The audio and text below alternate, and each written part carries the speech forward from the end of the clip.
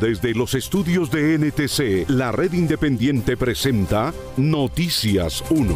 Esta noche Noticias 1, el próximo lunes reinician diálogos Estado ELN después de la interrupción de hace tres años por el atentado a la Escuela General Santander. El paso más audaz de Petro en el reinicio de diálogos es el nombramiento del ultraderechista José Félix Laforí. La especulación tiene el precio de la carne por encima del aumento del valor en sus insumos en dólares y está saliendo de la dieta diaria colombiana. Personera de Soacha en las goteras de Bogotá fue grabada pidiendo coima a un asesor suyo. Procuraduría pide investigar a la jueza de Cúcuta que entró a audiencia virtual en ropa interior y fumando. Y en los deportes, Mauricio Posada. Mónica, el balón de oro Karim Benzema no jugará el Mundial por un desgarro. Qatar y Ecuador están listas para inaugurar mañana la Copa del Mundo más polémica de la historia presidente de FIFA, defendió a Qatar de las críticas por violación a derechos humanos y medidas restrictivas de género.